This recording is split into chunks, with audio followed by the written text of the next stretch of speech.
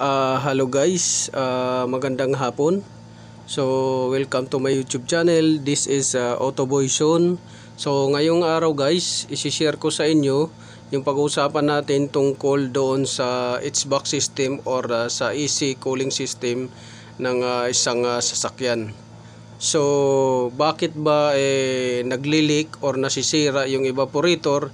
Anong ah, nagiging ah, failure na parts? Bakit naapektuhan siya? At saka bakit nasisira yung ah, compressor? At saka bakit nasisira yung ah, condenser at nagli-leak? So ngayon guys, yan yung pag-uusapan natin tungkol sa AC system na ah, components. So ito yung ah, pag-uusapan natin kung bakit nagfi-failure yung ah, receiver dryer at saka yung accumulator. So, papakita ko sa inyo guys sa screen kung ano itsura ng ap- ah, accumulator at saka anong itsura ng ah, receiver dryer. So, bago yan guys. So, kung bago pa lang kayo sa YouTube channel ko, welcome kayo dito sa YouTube channel ko. Marami po kayong ah, matututunan na kaalaman at saka idea. So, tara guys. Uh, isi-share ko sa inyo ang nalalaman ko dito tungkol sa receiver dryer at saka sa accumulator guys.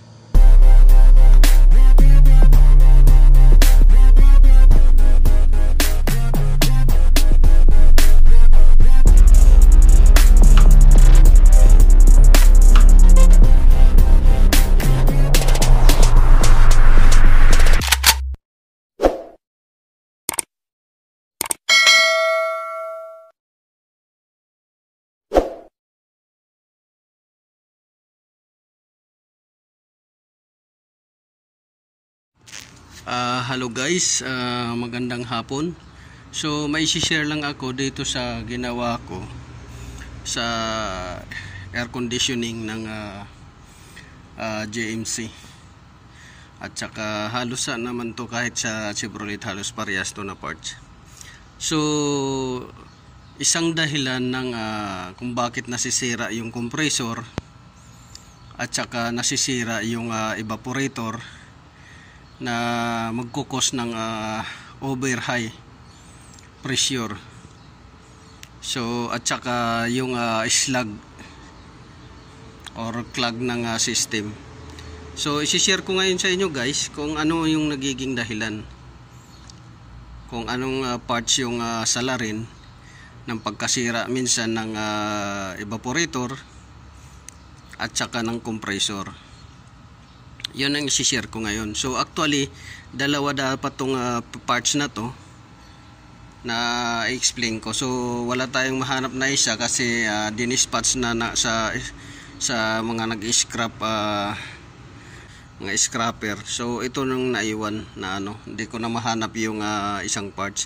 So yung parts guys na sinasabi ko sa inyo guys ay ah, yung ah, receiver dryer at saka yung ah, accumulator. So ito siya, yung naiwan na lang dito guys. Ah, yung naiwan na lang dito, yung accumulator.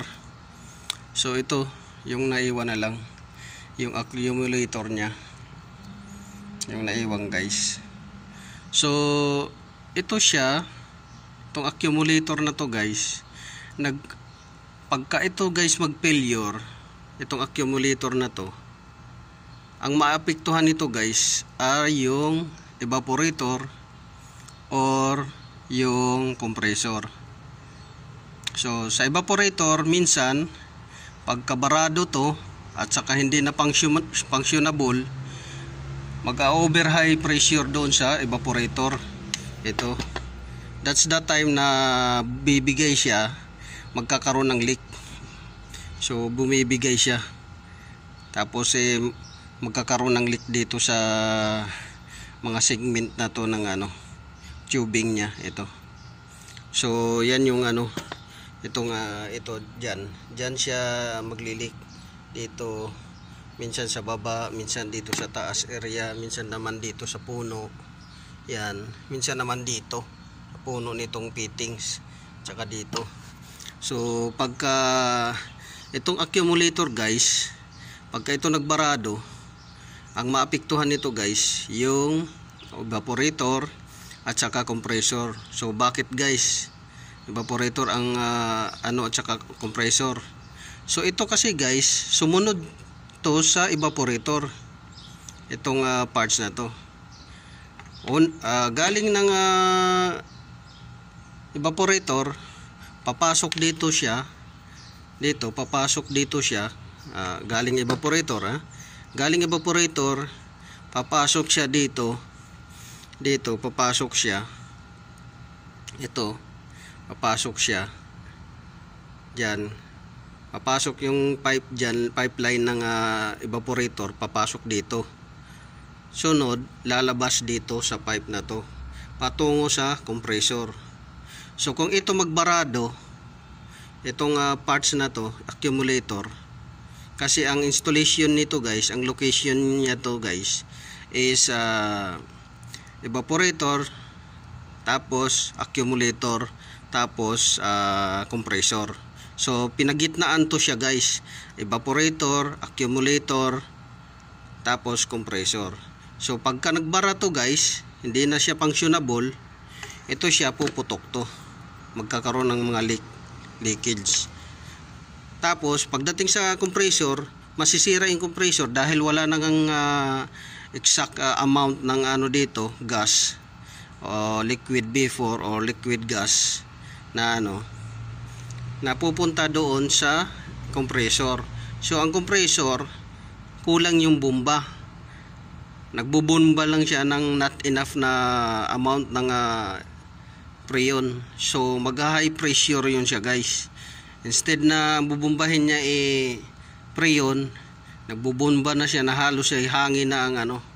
Binubumba niya na wala ng ah, freon na halo. So yan yung ano nito guys.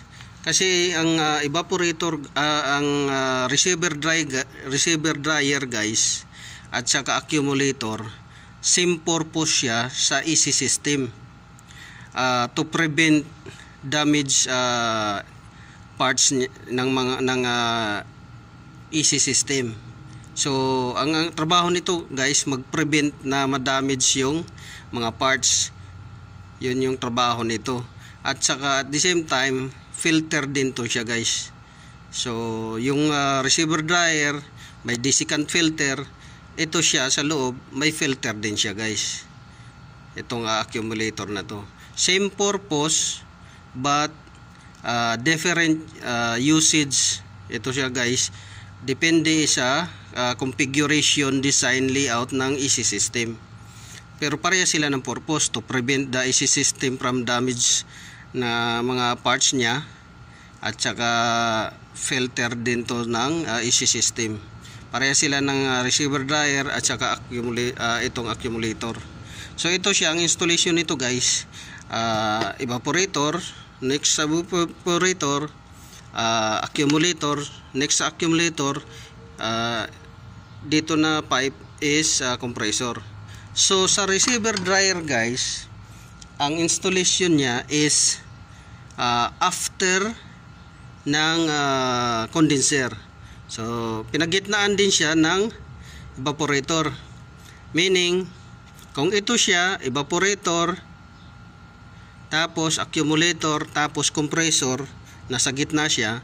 Yung ah, receiver dryer naman guys is condenser tapos receiver dryer tapos evaporator. Yun naman yung ano niya. So ang receiver dryer after ng ah, after ng compressor ang receiver dryer ang ah, installation niya.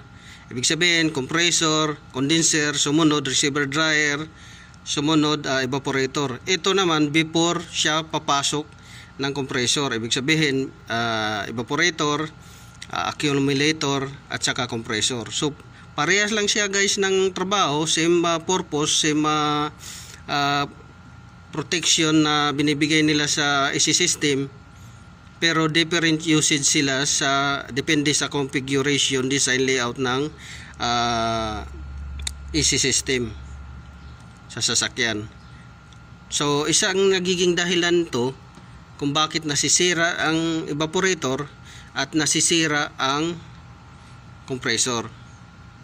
Tapos, yung receiver dryer naman guys, nagiging dahilan din guys kung bakit nasisira din ang ah, evaporator at minsan nasisira din yung condenser. So, pareha sila guys. Pagka nag-failure, may mga parts sila na maapektuhan. So, mamaya guys, papakita ko sa inyo. So, makikita niyo sa screen kung ano itsura ng ah, evapor ah, receiver dryer at saka accumulator. So, wala tayong sample ngayon na accumulate receiver dryer, accumulator only dahil eh, nawala dito sa scrap ah, yard yung ano, yung ah, receiver dryer. Kinuha na yata nung nag-scrap. So, ang naiwan na lang dito ay ah, accumulator. Ito accumulator. So, papakita ko sa inyo guys yung ano, yung parts na yon sa ah, screen nito para magkaroon kayo ng idea anong ah, itsura ng ah, receiver dryer, anong itsura ng ah, accumulator. So, pareha sila, tandaan nyo guys, pareha sila ng purpose to prevent the easy component parts from damage at saka filter din to siya guys. Controller, ang ano nito, controller na siya, filter din siya guys. Controller siya ng ah, pressure at saka filter na rin siya ng ah, preyon. So pare sila ng purpose. Pero sa sa layout na paglalagyan mo configuration ng isi system eh magkaiba kasi ito siya guys before ah, air compre- ah, before compressor, easy compressor. Yung ah, receiver dryer after ng ah, compressor. Yun lang guys, sana may natutunan kayo. Tandaan ninyo, ito siya, accumulator. Papakita ko sa inyo mamaya sa screen kung ano rin yung receiver dryer. Dito papasok, galing ng evaporator, lalabas dito, papuntang compressor. Yan yung ano, ito yung ah, sensor niya, pressure. So, ito naman yung evaporator niya. So, yan, naglilik na siya guys gawa ng ito na damage kasi kaya apekto apektado ito ganun rin dong guys sa ah, receiver dryer. So yun lang guys. Sana may natutunan kayo. So this is Autoboyson paki like share subscribe my youtube channel. At saka pa-click na rin guys ng notification bell button guys. So ngayon ito lang muna guys yung may share ko sa inyo. Dahil ito yung ginawa natin. So bawat gawa ko dito isi-share ko sa inyo kung anong nagiging ah, dahilan ng ah, failure ng mga parts. So, yun lang guys. Ah, magandang hapon. Stay safe, stay healthy. So, this is Autoboy Zone.